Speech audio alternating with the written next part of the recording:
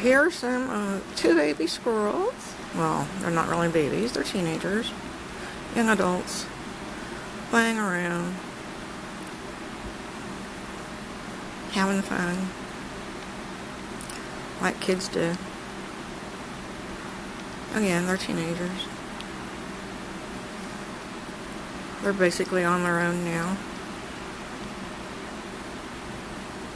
Funny to watch.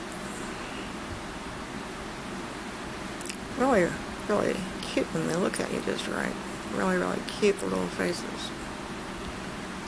And now they're calming down